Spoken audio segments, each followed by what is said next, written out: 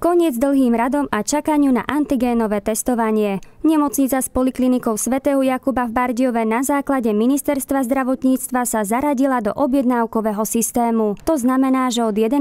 januára sa v mobilnom odberovom mieste 1, čiže pred vstupom do nemocnice, a v mobilnom odberovom mieste 2 v areáli nemocnice budú vykonávať antigénové testy len na základe objednania. Občania sa môžu objednať vyplnením formuláru na uvedenej internetovej stránke. Vo formulári si je potrebné zvoliť konkrétne miesto odberu či preferovaný dátum a miesto vyšetrenia. Po zadaní preferovanej kombinácie sa zobrazí informácia o dostupnosti termínov. Po odoslaní žiadosti príde SMS s prideleným COVID pasom a presným miestom a časom na antigénové testovanie.